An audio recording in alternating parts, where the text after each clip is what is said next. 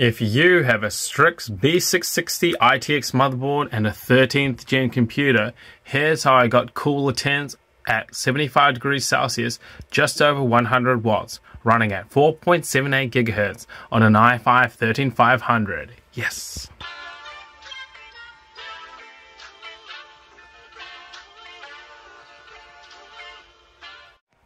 First, go to the Strix B660i official website. Under support, download the latest firmware version 3401.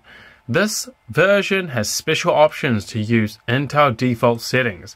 However, to get the best temps, we will also do a slight undervolt. So unzip that firmware onto a USB stick, plug it into your PC and hit the delete button on reboot.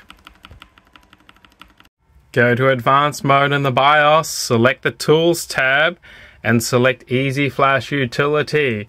Locate the USB drive and select update your firmware.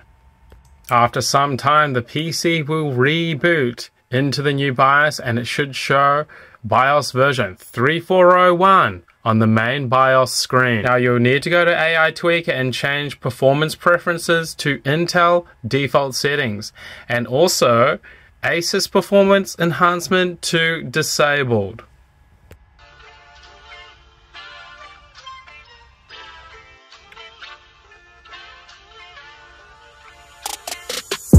Next we'll do a slight undervolt, offset of 0.1. Scroll down and find actual VRAM core voltage. Change to offset mode, then offset mode is minus.